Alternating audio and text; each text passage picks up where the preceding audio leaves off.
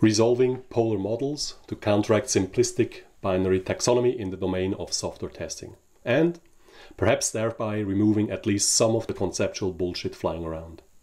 Hi, I'm Ilari, your cyborg friendly humanist, and I have opinions on things. Opinions, of course, are located on a quality scale from utter rubbish to exquisitely splendid. I hope mine can be placed rather closer to the latter, but decide for yourself. Today I'm going to talk about a popular category division, often also to be found in LinkedIn job advertisements, between automation tester and manual tester. It also links smoothly to my observations where we often have uh, with our clients at House of Tests, where testers in organizations are frequently divided into those two boxes. I believe this is counterproductive hogwash. We humans have many weaknesses, some of us specifically have a soft spot for dichotomous classification systems that make us believe we can construct neat drawers to sort our mess into.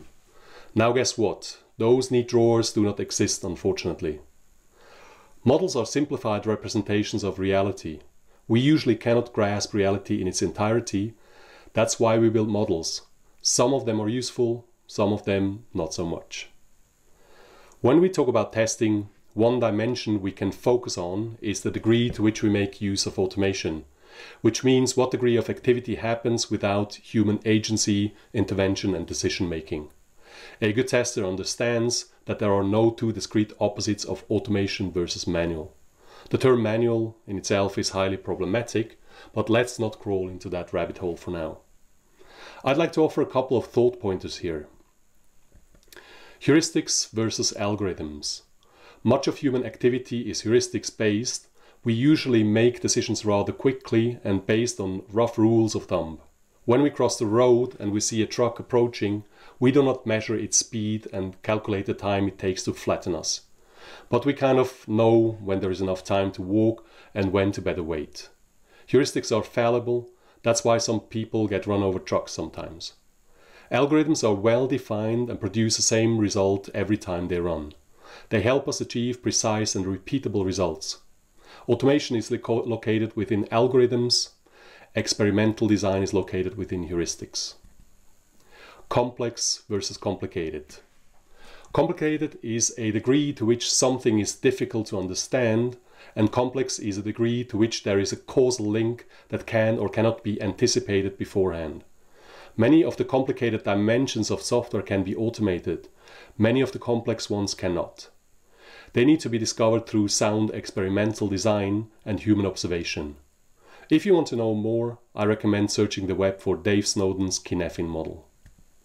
Discovery versus confirmation. There is a subset of software's behavior that can be described beforehand, whereas some behavior strikes us as surprising when we observe them. Those usually belong to the complex domain and need to be discovered. That does not mean that confirmatory checking is not important, but keep in mind that it does not satisfy the full spectrum of software testing. Human agency versus robotics. Robots do what robots are told to do. They don't decide anything, but they do as they are programmed. Human agency allows us humans to be humans. We have the ability to anticipate, act, decide, and change our course of action based on observations on our uh, own within some boundaries. Tacit versus explicit knowledge. Requirements and specifications codify the explicit knowledge and expectations towards software, or as Michael Bolton likes to say, desires rather than expectations. However, we have a much larger sphere of tacit expectations that only manifest themselves when they are violated. Harry Collins' book Tacit and Explicit Knowledge offers a fantastic read on the subject polymorphic versus mimeomorphic. Mimeomorphic behavior is a behavior that copies according to explicit instructions. Polymorphic behavior is the somewhat opaque rules that humans follow. Polymorphic behavior can model reactions to contradicting inputs and has a repair function that is able to gloss over minor irritations and flaws. Those two concepts originate with Harry Collins too. Human versus computer language.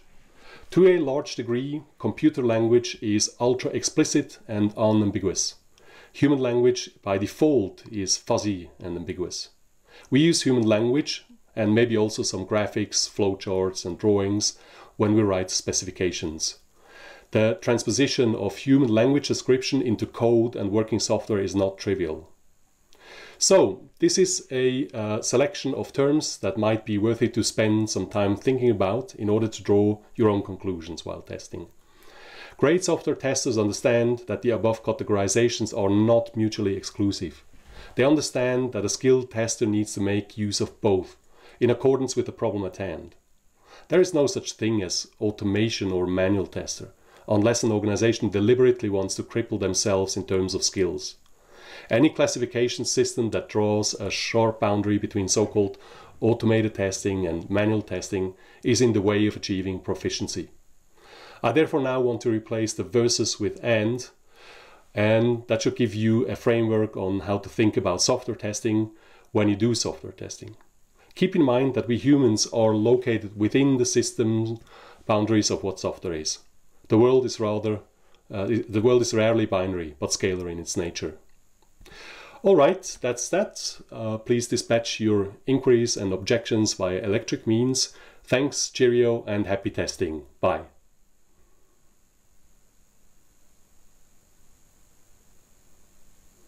Hmm. This then recording software should stop the recording automatically. How do I solve this? Hey. Ah, here we go.